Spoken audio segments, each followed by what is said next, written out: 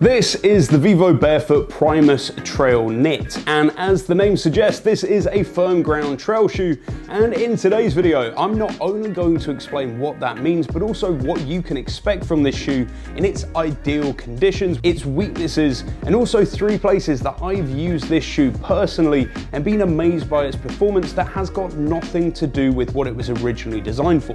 So stick around as I go bumper to bumper on the Vivo Barefoot Primus Trail Knit FG. First things first, this is a shoe you have got to earn the right to go far in, and that's because this is a barefoot shoe. That means it's zero drop, so no raise of the heel, no raise on the toe, wide toe box, and with a super thin, flexible sole that gives you an amazing level of proprioception. It really brings your awareness to the environment around you. And if that sounds at all airy-fairy, just trust me, when you try these out for yourself, you're gonna know exactly what I mean. And if you know already, let me know in the comments down below, just to help me describe that feeling. It also means that if you haven't spent time getting your body ready for running long distances in shoes like this, you could be about to enter a whole new world of pain. But I did a video explaining all of that, the history of barefoot shoes, and exactly how to easily transition, which you can check out up here.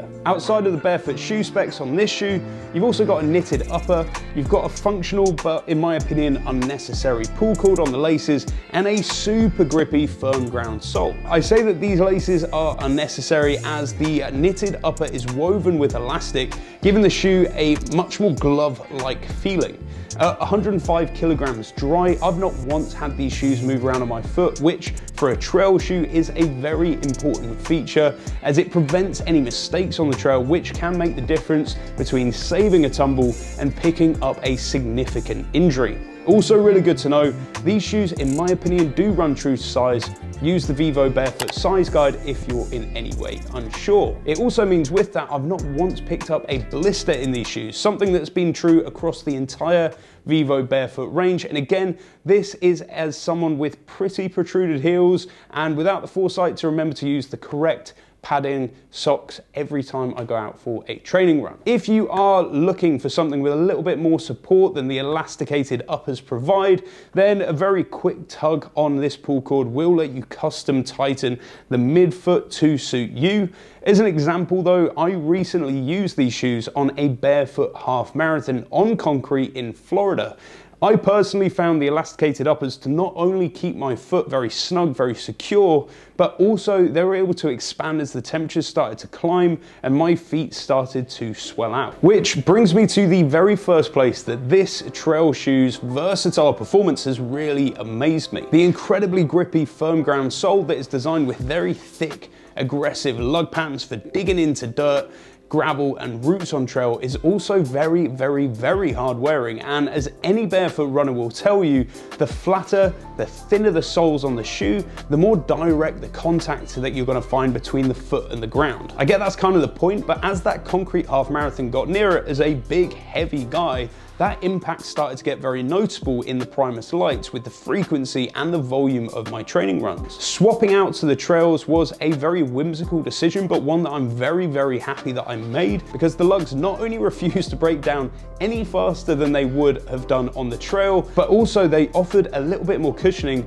underfoot, which was a revelation for the run. Last note on the product specifications is the breathability of that knitted upper. It's not only very supple, very strong, uh, impenetrable to gravel, thorns, branches, but also very breathable, which allows a free passage of air, effectively keeping the foot cool and dry on hot days. Now, that is really a very notable feature on longer distance runs, particularly if you're living in a warmer or mild climate, that one's really gonna come into its own, and one that I've really come to appreciate, although it is worth noting, Vivo does offer an all-weather version of the shoe for those living in a cooler, wetter climate. All of that considered, the ideal conditions for this shoe, where it's been designed to excel and does an excellent job of it, are obviously trail running in mild to warmer climates and day-long or multi-day hiking, where you're gonna be predominantly below the snow line. Now, it's generally at this point in the conversation, I'll get a comment saying, Clem, what do you mean hiking?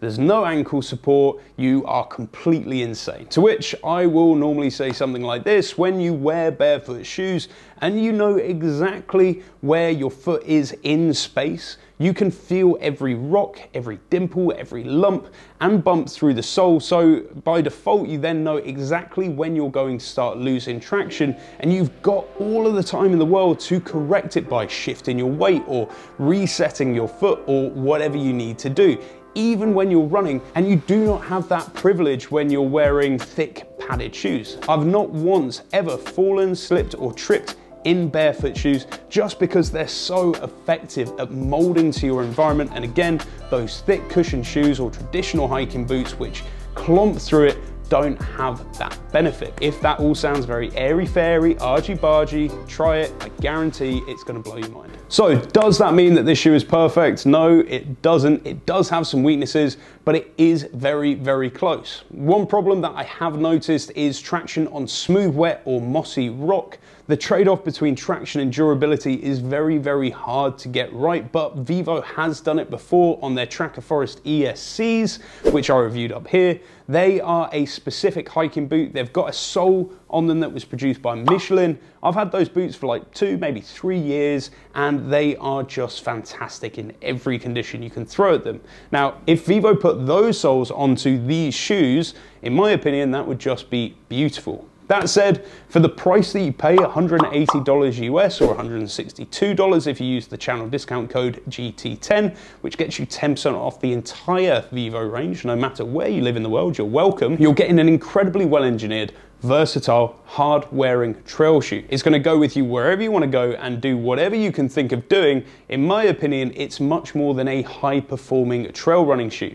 The same features that make it so, so good at what it was designed to be doing, trail running, also make it excel as a very versatile gym shoe for anyone that does any weight training or CrossFit. I do lots of that. I've even seen some of the best powerlifters in the world lifting in these shoes. Shane Hunt is a great example of that.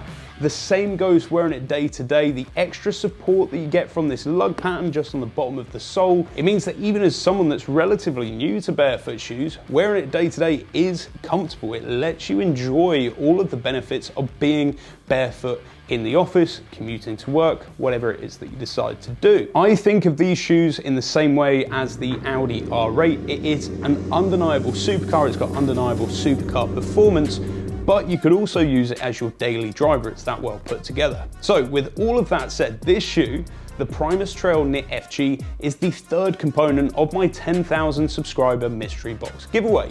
Entry is really simple. All you have to do is subscribe to the channel. So far in the pot, we have got these, the Primus Trail Knit FG in your choice of colorway and size, another pair of Vivo barefoot shoes of your choice, and a set of correct toe toe spaces. Make sure that you keep up to date on the channel for more barefoot content and to be able to see what else you will be winning. And check out this video on how you can make your own cheap barefoot shoes just to tide you over until you win that giveaway. Thank you so much for watching. If you've got questions, make sure you hit me up in the comments section down below. Have a fantastic day.